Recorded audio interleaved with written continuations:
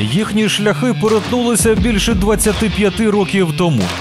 17-річний перспективний спортсмен Слава Медведенко став гравцем баскетбольного клубу Денді Баскет, який заснував не менш відомий бізнесмен Михайло Бродський, і стосунки не склалися від самого початку. Він сказав: ну я ж слово дав, я слово і забрав. Минуть роки Слава Медведенко стане дворазовим чемпіоном найсильнішої баскетбольної ліги світу. А Михайло Бродський очолить Українську федерацію баскетболу. Вони не приховують, що є публічними опонентами, обмінюючись гострими закидами. Він так як шоумен. Нове ексклюзивне відео вже на підході. Підписуйся на канал The Game, протискай дзвіночок, і ти першим про все дізнаєшся.